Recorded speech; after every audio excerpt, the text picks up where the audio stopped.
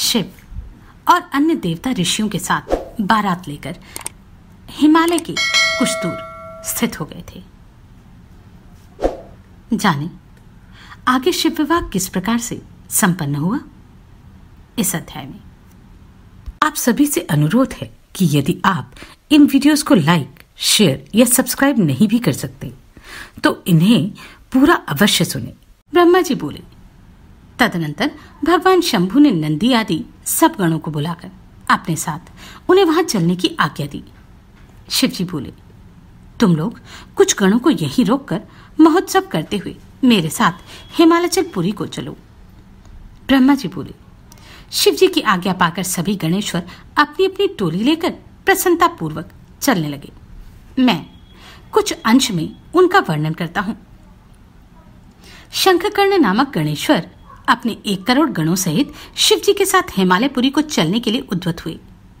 कैकराक्ष नामक गणराज दस करोड़ गणों के साथ महान उत्सव से चला। इसी प्रकार विकृत नामक गणराज भी आठ करोड़ गणों के साथ चला। गणनायक विशाख चार करोड़ गणों के साथ तथा गणश्रेष्ठ पारिजात नौ करोड़ गणों के साथ चले। श्रीमान सर्वांतक तथा विकृतानंद साठ साठ करोड़ गण लेकर चले। तुदुम्भ नामक गणनायक आठ करोड़ गणों के साथ चला। हे मुने, कपाल नामक गणेश्वर पाँच करोड़ गणों के साथ और वीर संदारक छह करोड़ गणों के साथ लेकर चले। कंदुक तथा कुंडक एक एक करोड़ गणों के साथ और गणेश्वर विष्टंभ आठ करोड़ गणों के साथ चले। हे मुनि सत्तम, पिपल नामक गणेश्वर एक सहस्त्र कोटि गणों के साथ और इतने ही गणों के साथ वीर गणेश्वर सनातक। प्रसन्नता पूर्वक चले। गणेश्वर आवेशन आठ करोड़ गणों के साथ तथा गणाधीश महाकेश सहस्त्र कोटि गणों के साथ चले। हे मुने, इसी प्रकार कुंड और पर्वत तक बारह करोड़ गणों को तथा वीर चंद्रतापन आठ करोड़ गणों को साथ लेकर चले।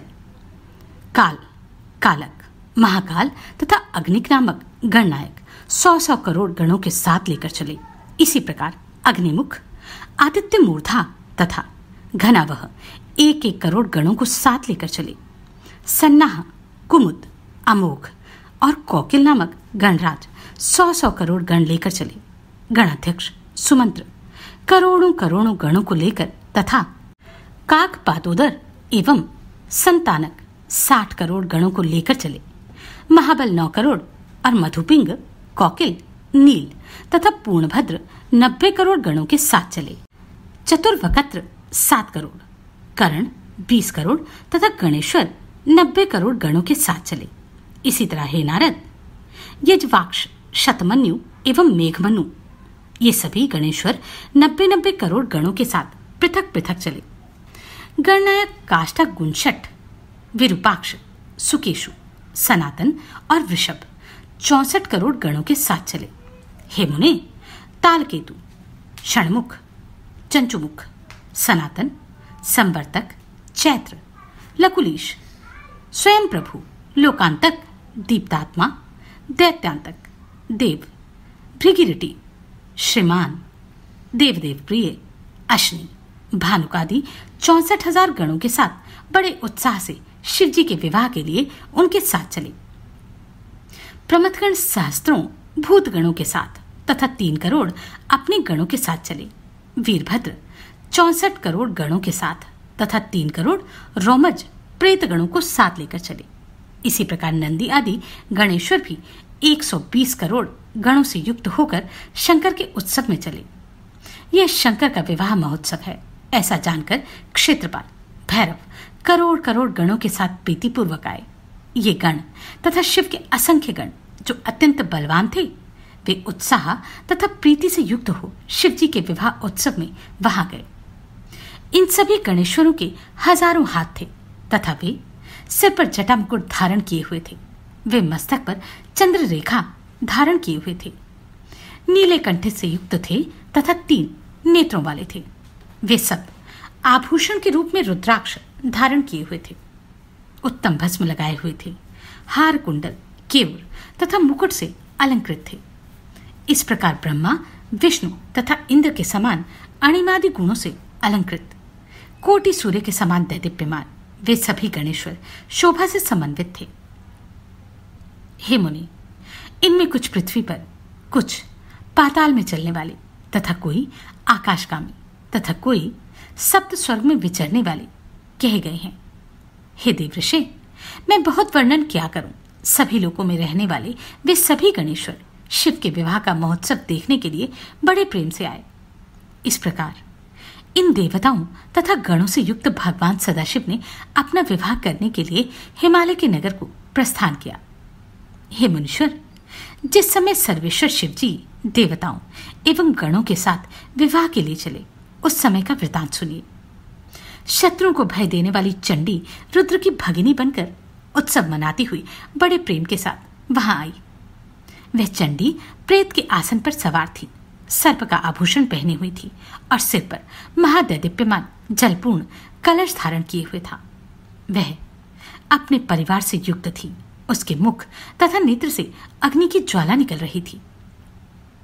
वह बलशालिनी हर्ष से युक्त होकर नाना प्रकार के कुतूहल कर रही थी।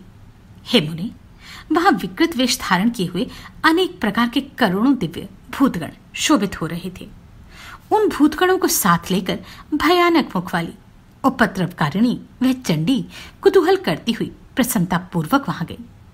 उस चंडी ने रुद्र में अनन्य प्रीति करने वाले ग्यारह हज़ार करोड़ रुद्रगणों को अपने पीछे कर लिया।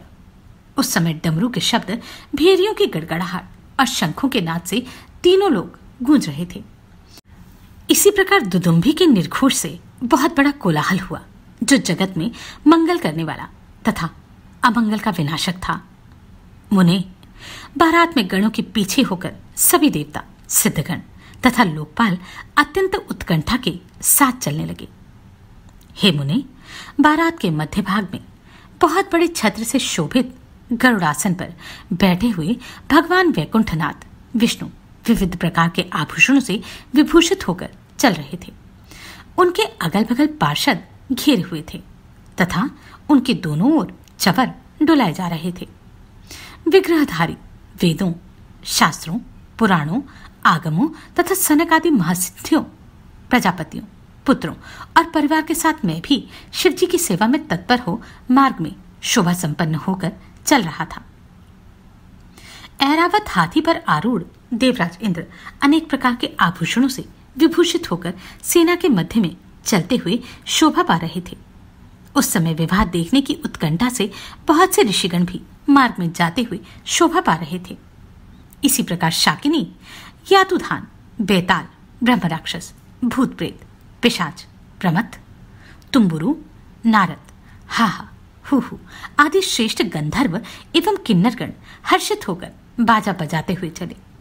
संपूर्ण जगत की माताएँ, देवकन्या, गायत्री, सावित्री, लक्ष्मी, अन्य देव स्त्रियाँ ये सब तथा अन्य देव पत्नियाँ और जगन माताएँ शंकर जी का विवाह हो रहा है, ऐसा जानकर प्रसन्नता पूर्वक वहाँ गई। शुद्ध स्वटिक के समान सर्व सुंदर वृषभ जिसे वेदों, शास्त्रों तथा महर्षियों ने धर्म कहा है, उस पर सवार होकर धर्मवत्सल भगवान शिव जी संपूर्ण देवगणों तथा ऋषियों से सेवित हो मार्ग में चलते हुए अत्यंत सुशोभित हो रहे थे। इन सभी देवगणों, महर्षियों तथा गणों के साथ अलंकृत हुए शिव जी पार्वती से विवाह करने के लिए हिमाचल के घर जाते हुए मार्ग में अत्यंत सुशोभित हो रहे थे। हे नारद, इस प्रकार मैंने शिव जी के वर यात्रा प्रस्थान का आपसे वर्णन किया है। अब हिमालय के नगर में जो शिव चरित्र हुआ, उस वृतांत को सुनिए। ब्रह्मा जी बोले, हे मुनि उसके बाद आपस में विचार विमर्श कर शंकर जी की आज्ञा लेकर भगवान विष्णु ने पहले आपको हिमालय के घर भेजा। हे नारद, भगवान श्रीहरि की प्रेमपूर्ण प्रेरणा से सर्वे शिष्य को प्रणाम कर आप बारात से आगे हिमालय के नगर को चले। हे मुने, वहाँ जाकर आपने विश्वकर्मा द्वारा रचित लज्जा की मुद्रा से युक्त अपनी कृत्रिम मूर्ति देखी और उसे देखते ही आप विस्मित हो गए। हे महामुने विश्वकर्मा द्वारा बनाई गई। अपनी मूर्ति को देखकर तथा विश्वकर्मा का सारा चरित्र जानकर आप श्रांत हो गए। तत्पश्चात आपने स्वर्ण कलशों से एवं केले के खंभों से अत्यंत मंडित रत्न चरित्र हिमालय के मंडप में प्रवेश किया। वह मंडप अति अद्भुत, नाना प्रकार के चित्रों से अलंकृत तथा हज़ारों खंभों से युक्त था। उसमें बनी हुई वेदी देखकर आप आश्चर्य में पड़ गए। हे मुने हे नारद, उस विस्मय के कारण आपका ज्ञान एवं बुद्धि नष्ट हो गई। पुनः आपने हिमालय से पूछा, हे हिमालय, क्या इस समय विष्णु आदि सभी देवता, महर्षि सिद्ध एवं गंधर्व यहाँ पहुँच गए हैं? हे पर्वतराज, क्या विवाहितु श्वेत बैल पर सवार होकर गणेश्वर से युक्त सदाशिव पधार चुके हैं? यह बात आप सत्य सत्य कहिए। ब्रह्मा जी बोले, हे मुने विस्मित हुए आपके इस प्रकार के वचन को सुनकर पर्वत हिमालय आपसे तथ्ययुक्त वचन कहने लगे। हिमवाद बोले, हे नारद, हे महाप्राग, अभी पार्वती के विवाह के लिए अपने गणों तथा बारातियों को लेकर शिवजी नहीं आए हैं। हे नारद, आप उत्तम बुद्धि से विश्वकर्मा के द्वारा रचित चित्र जानिए। हे देवऋषि, आप आश्चर्य का त्याग कीजिए, स्वस्थ हो जाइए और शिव का स्मरण कीजिए। आप मुझ पर कृपा कर भोजन तथा विश्राम करके मैनाकादि पर्वतों के साथ शंकर के समीप जाइए। हे महावते, जिनके चरण कमल की अर्चना देवता तथा असुर भी किया करते हैं, उन शिव की प्रार्थना कर आप इन पर्वतों को साथ लेकर देवताओं तथा महर्षियों सहित उन्हें यहाँ शीघ्र ले आइए। ब्रह्मा जी बोले, हे नारद, तब आपने तथास्तु कहा और वहाँ का सारा कृत्य अच्छी तरह संपन्न कर भोजन करके। महामनस्वी आप हिमालय के पुत्रों सहित बड़ी प्रसन्नता से शीघ्र शिव जी के समीप गए। वहाँ आपने देवताओं से घिरे हुए महादेव जी को देखा। आपने तथा उन पर्वतों ने भक्ति से उन कांतिमान शिव को प्रणाम किया। तत्पश्चात हे मुने, अनेक प्रकार के अलंकारों से युक्त मैनाक सह मेरुआदि पर्वतों को देखकर संदेह से आकुल मन वाले मैंने, विष्णु ने तथा इंद्र से युक्त देवताओं एवं रुद्रानुचरों ने विस्मित होकर आपसे पूछा। देवता बोले, हे नारद, हे महाप्राग, आप तो आश्चर्य से चकित दिखाई पड़ते हैं। हिमालय ने आपका सत्कार किया या नहीं? हम लोगों को यह विस्तार पूर्वक बताइए। ये महाबली मैनाक, सह तथा मेरु आदि पर्वत अनेक अलंकार धारण कर यहाँ किस उद्देश्य से आए हैं? हे नारद आप यह भी बताइए कि पर्वतराज हिमालय का विचार शिव जी को कन्या देने का है या नहीं? हे तात, इस समय हिमालय के यहाँ क्या हो रहा है? यह सब विस्तार से कही हे सुब्रत हम देवताओं का मन अनेक प्रकार के संदेह से ग्रसित हो रहा है। इसलिए हम लोग आपसे पूछ रहे हैं। आप हमारा संदेह दूर करें। ब्रह्मा जी बोले, हे मुने, उन विष्णु आदि देवताओं का वचन सुनकर विश्वकर्मा की माया से विस्मित हुए। आपने उनसे कहा। हे मुने, आप उन विष्णु को और सभी देवताओं के ईश्वर शची के पति, पर्वतों के पूर्व शत्रु तथा पर्वतों के पक्ष को काटने वाले इंद्र को एकांत में बुलाकर कहने लगे। नारद जी बोले, विश्वकर्मा ने हिमालय के घर जैसी कारीगरी की है, उसे देखते ही सभी देवगण मोहित हो जाएँगे। वे हिमालय तो उस कारीगरी के कौशल से सारे देवताओं को प्रेमपूर्वक युक्ति से मोहित करना चाहते हैं। हे शचीपति आपने पूर्व काल में विश्वकर्मा को भुलावे में डाल दिया था। क्या उसे आप भूल गए हैं? इसलिए वे आज आपको जीतने की इच्छा से हिमालय के घर में विराजमान हैं। उन्होंने मेरा ऐसा चित्र बनाया है कि उसे देखकर मैं तो मोहित हो गया हूँ। इसी प्रकार उन्होंने विष्णु, ब्रह्मा, इंद्र आदि देवताओं के चित्र का भी निर्माण किया है। हे देवेश, अधिक कहने से क्या लाभ? उन विश्वकर्मा ने सभी देवगणों का चित्र इतनी कुशलता से बनाया है कि वे यथार्थ देवताओं के रूप से किंचित मात्र भी भिन्न नहीं जान पड़ते। उन्होंने परिहास करने के लिए सभी देवताओं की यह मायामयी चित्र रचना की है, जिससे देवताओं को मोह उत्पन्न हो जाए। ब्रह्मा जी बोले, इस प्रकार नारद के वचन को सुनकर भय से व्याकुल शरीर वाले देवेंद्र ने विष्णु की ओर देखकर शीघ्रता से कहा। देवेंद्र बोले, हे देवदेव, हे रमनाथ पुत्र विश्वकर्मा शोक से व्याकुल हो मुझसे द्रोह करता है। कहीं ऐसा ना हो कि वह इसी बहाने मेरा वध कर दे। ब्रह्मा जी बोले, उनका यह वचन सुनकर देवादिदेव जनार्दन उन्हें समझाते हुए कहने लगे, हे शचिपते, आपके बैरी निवात कवचादि दानवगणों ने महाविद्या के बल से पूर्व समय में भी आपको मोहित किया था। हे वासव, इसी प्रकार आपने मेरी आज्ञा से पर्वतराज हिमालय के तथा अन्य दूसरे पर्वतों के पंख का छेदन कर दिया है। इस कारण वे पर्वत भी उसी की माया को देखकर तथा सुनकर आपको जीतने की इच्छा करते हैं। ये सभी मूर्ख हैं और पराक्रम नहीं जानते, अतः आप इनसे भयभीत ना हो। हे देवेंद्र, इसमें कोई भी संदेह नहीं है कि भक्त वत्सल, भगवान सदाशिव, हम सभी का मंगल करेंगे। ब्रह्मा जी बोले, इस प्रकार व्याकुल हुए इंद्र को देखकर विष्णु ने उन्हें समझाया लौकिक गति का आश्रय लेने वाले भगवान शिव उनसे कहने लगे। ईश्वर बोले, हे हरे, हे सुरपते, आप लोग आपस में क्या विचार विमर्श कर रहे हैं? ब्रह्मा जी बोले, उन दोनों से इस प्रकार कहकर, हे मुने, पुनः उन्होंने आपसे कहा, हे नारद, महाशैल ने क्या कहा है? आप यथार्थ रूप से सारा वृतांत कहिए। आप उसे गुप्त न रखें। आप शीघ्रता से बताइए कि शैलराज की कन्या देने की इच्छा है? अथवा नहीं। हे तात, आपने वहाँ जाकर क्या देखा और क्या किया? यह सारा वृतांत प्रेम पूर्वक कही। ब्रह्मा जी बोले, हे मुने, जब शिवजी ने आपसे यह कहा, तब दिव्य दृष्टि वाले आपने मंडप में जो कुछ देखा था, वह सब एकांत में इस प्रकार कहा। नारद जी बोले, हे देवदेव, हे महादेव, आप मेरा शुभ वचन सुने। इस विवाह में किसी प्रकार के विघ्न दिखाई नहीं पड़ते। और ना तो किसी प्रकार का भय है। शैलराज निश्चित रूप से आपको ही अपनी कन्या देना चाहते हैं। ये पर्वत इसी निमित्त आपको लेने की इच्छा से यहाँ आए हैं। इसमें संदेह नहीं है। हे सर्वज्ञ, परंतु एक बात है कि कोतूहलवश वहाँ सभी देवताओं को मोहित करने के लिए एक अद्भुत माया रची गई है। इसके अतिरिक्त वहाँ और किसी प्रकार के विघ्न की संभावना नहीं है। हे विभो महामाया करने वाले विश्वकर्मा ने हिमालय की आज्ञा से उनके घर में महान आश्चर्ययुक्त मंडप की रचना की है। उस मंडप में विश्वकर्मा ने सारे देव समाज के चित्र का निर्माण किया है। उसे देखकर मैं मोहित होकर आश्चर्य में पड़ गया। ब्रह्मा जी बोले, नारद का वचन सुनकर लोकाचार करने वाले प्रभु शिव जी विष्णु आदि देवताओं से हँसते हुए कहने लगे हे विष्णु, यदि पर्वत हिमालय मुझे अपनी कन्या देंगे तो आप यथार्थ रूप से बताइए कि मुझे माया से क्या प्रयोजन है?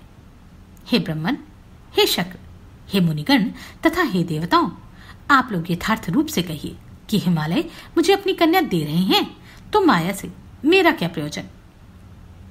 न्याय शास्त्र के जानकार पंडितों ने कहा है कि जिस किसी उपाय से अपने साध्य को प्राप्त करना चाहिए, अतः आप सभी विष्णु आदि देवगण इस कार्य सिद्धि की इच्छा से शीघ्र ही चले। ब्रह्मा जी बोले, देवताओं से इस प्रकार कहने वाले जीतेंद्रिय भगवान सदाशिव को कामदेव ने साधारण मनुष्य के समान अपने वश में कर लिया। उसके बाद शिव जी की आज्ञा से विष्णु आदि देवता एवं ऋषिगण भ्रांत तथा मोहित करने वाले हिमालय गृह की ओर गए। हेमुने उन देवताओं ने आप नारद को तथा उन पर्वतों को आगे कर आश्चर्यचकित हो। हिमालय के अपूर्व एवं परम अद्भुत मंदिर की ओर प्रस्थान किया। इस प्रकार हर्ष में भरे हुए विष्णु आदि देवताओं तथा प्रसन्नता से युक्त अपने गणों के साथ विश्व जी आनंदित होकर हिमालय के नगर के समीप आ गए।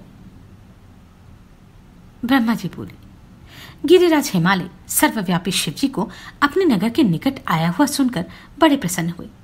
तदनंतर उन्होंने सभी सामग्री एकत्रित करके परमेश्वर की आगवानी करने के लिए बहुत से ब्राह्मणों तथा पर्वतों को भेजा और प्राणों से प्रिय ईश्वर का दर्शन करने के लिए भक्ति से परिपूर्ण हृदय वाले वे हिमालय अपने भाग्य की प्रशंसा करते हुए प्रसन्नता पूर्वक स्वयं भी गए।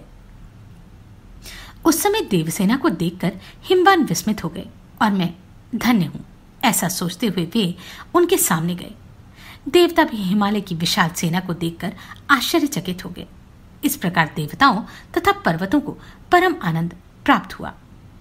हे मुने, उस समय देवताओं तथा पर्वतों की विशाल सेना मिलकर पूर्व तथा पश्चिम सागर के समान सुशोभित हुई। वे देवता तथा पर्वत परस्पर मिलकर बड़ी प्रसन्नता से अपने को कृतकृत्य मानने लगे। इसके बाद हिमालय ने ईश्वर को सामने देखकर उन्हें प्रणाम किया और सभी पर्वतों तथा ब्राह्मणों ने भी सदाशिव को प्रणाम किया। हिमालय ने वृषभ पर सवार, प्रसन्न मुख वाले। नाना अलंकारों से शोभित, अपने दिव्य शरीर की शोभा से दिगंतरों को प्रकाशित करने वाले अत्यंत सूक्ष्म तथा नवीन रेशमी वस्त्र से शोभित विग्रह वाले सिर पर रत्नों से जटित मुकुट धारण किए हुए, हँसते हुए शुभ्र कांति वाले सर्पों के अलंकारों से सुशोभित अंग वाले अंगों की अद्भुत प्रभा वाले दिव्य कांति से संपन्न, हाथों में चवर धारण किए देवताओं द्वारा सेवित बाई ओर अच्युत, दाहिनी ओर ब्रह्मा, पृष्ठभाग में इंद्र और पीछे तथा पार्श्वभाग में देवता आदि से शोभायमान। अनेक विध देवता आदि के द्वारा स्तुत। संसार का कल्याण करने वाले, अपनी इच्छा से शरीर धारण करने वाले ब्रह्म स्वरूप सर्वेश्वर, वर प्रदान करने वाले, निर्गुण तथा सगुण रूप वाले, भक्तों के अधीन रहने वाले, कृपा करने वाले, प्रकृति तथा पुरुष से भी परे और सचिदानंद स्वरूप। शिव को देखा। हिमालय ने प्रभु के दक्षिण भाग में गरुड़ पर सवार तथा नाना प्रकार के आभूषणों से सुसज्जित अच्युत श्रीहरि को देखा। हे मुने, उन्होंने प्रभु के वाम भाग में चार मुख वाले, महान शोभा वाले तथा अपने परिवार से युक्त मुझे देखा। इस प्रकार शिव के परम प्रिय हम दोनों सुरेश्वरों को देखकर गिरीश ने परिवार सहित आदर से प्रणाम किया। फिर गिरीश्वर ने देवादिदेव सदाशिव के पीछे तथा पार्श्वभाग में स्थित हुए सभी देवताओं को प्रणाम किया। इसके बाद शिव जी की आज्ञा से गिरिराज हिमालय आगे होकर अपने नगर में प्रविष्ट हुए। तदनंतर शेष, विष्णु तथा ब्रह्मा भी देवताओं के साथ नगर में गए। हे नारद, प्रभु के साथ जाते हुए सभी मुनि देवता आदि एवं देवगण परम प्रसन्न हो हिमालय के नगर की प्रशंसा करने लगे। उसके बाद हिमालय सुर में तथा निवास के योग्य बनाए गए अपने शिखर पर देवता आदि को ठहराकर स्वयं वहाँ चले गए, जहाँ बेदी बनी थी। उसे चौकोर तथा तोरणों से विशेष रूप से सुसज्जित कराकर स्नान दान आदि क्रिया कर उन्होंने विधि पूर्वक वहाँ का निरीक्षण किया। तदनंतर पर्वतराज हिमालय ने विष्णु आदि संपूर्ण वर्ग से युक्त शिव के समीप अपने पुत्रों को भेजा। वे पर्वतराज परम प्रसन्न हो अपने बंधुगणों के साथ महान उत्सव पूर्वक वर का यथोचित आचार करना चाहते थे। तब उन पर्वत पुत्रों ने वहाँ जाकर अपने वर्गों के सहित विराजमान उन शिव को प्रणाम करके शैलेश्वर की वह प्रार्थना सुनाई। तत्पश्चात वे पर्वत पुत्र उनकी आज्ञा से अपने घर चले गए और प्रसन्न होकर शैलराज से बोले कि अब सब आ रहे हैं। हे मुने, इस पर शिवजी सहित विष्णु आदि समस्त देवता गिरिराज की वह प्रार्थना सुनकर परम प्रसन्न और अत्यंत आह्लादित हो गए। उसके बाद सभी देवता, मुनिगण और अन्य लोग उत्तम वेशभूषा धारण करके प्रभु के साथ पर्वतराज के घर गए। उस अवसर पर मैना ने शिवजी को देखना चाहा और हे मुनि, प्रभु को देखने के लिए उन्होंने आप मुनिश्रेष्ठ को बुलाया। तब हे मुनि, आप प्रभु से प्रेरित होकर शिव जी के हृदय की बात पूर्ण करने की इच्छा से युक्त मन से वहाँ गए। हे मुनि, आपको प्रणाम करके विस्मित मन वाली मैना भगवान शंकर के मत विनाशक रूप को देखने की इच्छा से आपसे कहने लगी। विवाह अभी पूर्ण नहीं हुआ था। अभी केवल बारात हिमालय के द्वार पर थी और मंडप में आने की प्रतीक्षा की जा रही थी। मैना के शिव के दर्शन करने के अनुग्रह का क्या हुआ? उससे सब ठीक हुआ? यह बातें कुछ और उलझ गईं। जानते हैं अगले अध्याय में। आप सभी को कोटि कोटि साधुवाद। आपने इन वीडियोस को इतना प्रेम दिया। नमस्कार मैं आभा शर्मा जावास। यदि आपको मेरा ये प्रयत्न सराहनीय लगा हो तो मुझे सब्सक्राइब करके प्रोत्साहित करें।